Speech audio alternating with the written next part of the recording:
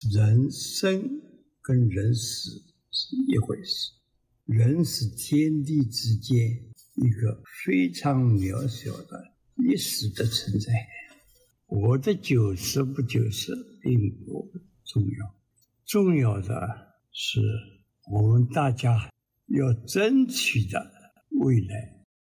十一月五日是赵子阳政治秘书鲍同九十岁生日，留下这段感言。四天后，他离开了这个世界。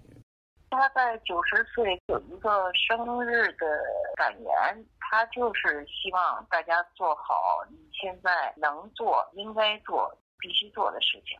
为了这块土地的未来，为了这块土地的今天，你要做能做、应该做、必须做的事情，而且要把它做好。鲍同的女儿鲍简认为，父亲的离世应该是按照他的意愿走的，是最好的结局。鲍同遗体告别仪式将于十五号上午十一点举行。十五号告别式就在八宝山殡仪馆，因为受人数限制，现在北京的疫情限制要求只有三十个人，所以他也不对公众开放。有我们家属就二十多个人。鲍同祖籍浙江海宁，在上海长大，曾担任中共前总书记赵紫阳的政治秘书、国家经济体制改革委员会副主任、中央政治体制改革研讨小组办公室主任、中共十三大文件起草小组组长等职务。一九八九年，鲍同因支持六四学运和赵紫阳在民主法治的轨道上解决问题的思路，反对中共出动军队镇压民主运动，遭党内整肃，被捕入狱。一九九六年获释后，鲍同也长期处于软禁中，但鲍同不畏暴政，一直关注中国社会问题，为遭到中共迫害的各个群体发声。他生前也多次谴责中共镇压法轮功违宪违法。法轮功的悲剧啊，也是整个国家的悲剧，是所有中国人的悲剧。我认为根本不是什么法轮功犯法，那是江泽民犯法，镇压他们的和平请愿是错误的。我们的领导就是违反宪法的。鲍同说：“法轮功秉持的真善忍是普世价值，修炼法轮功没有错。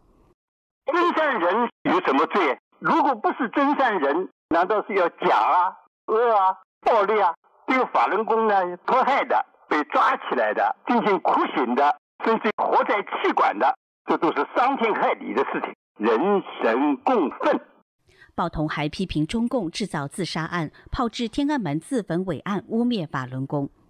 这件事情是党和政府捏造出来的一条假新闻，他是贼喊捉贼，自己做了一个案，然后呢嫁祸于法轮功，作为镇压法轮功的理由，这就更加卑鄙了。所以我说，中国最大的邪教应该是中国共产党。鲍同表示，共产党迫害法轮功，犯下反人类罪，应该受到全世界谴责。他同时称赞法轮功在中共的打压下越发壮大。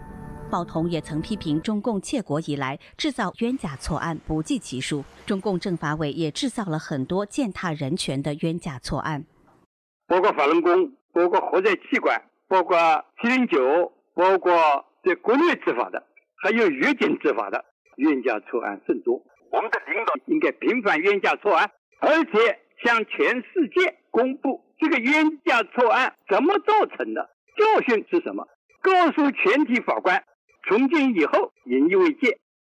由于鲍同一直批评揭露中国政治社会等问题，他的家人也受株连。今年八月，鲍同的妻子蒋宗曹病逝，开追悼会时遭到中共严格限制出席人数。